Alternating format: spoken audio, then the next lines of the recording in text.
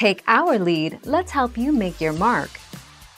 Our goal is your satisfaction. Let us show you the way. From Wikipedia.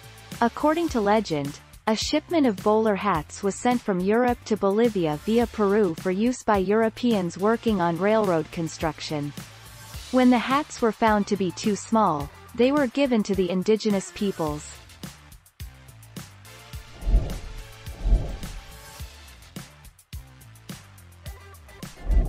Make your mark, take our lead. Felt had only been able to be made by hand before the machine was invented. In the US the bowler was usually called the Derby. The bowler became popular after Americans saw pictures of the Earl of Derby, at the horse races in England, wearing a light grey bowler with a black band.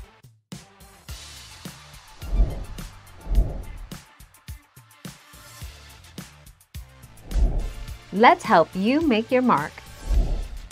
Clothing of Andean people of indigenous descent includes the pollera, pleated skirt, the 19th-century European bowler hat, and a silky shawl known as a manta.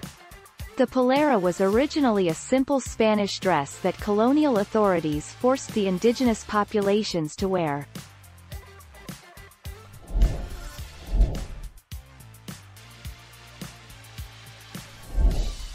Take our lead.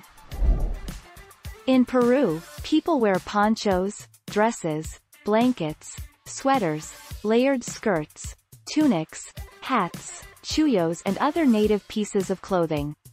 The traditional costume of Peru is very colorful and bright. It is beautiful and very original although the clothes are quite thick.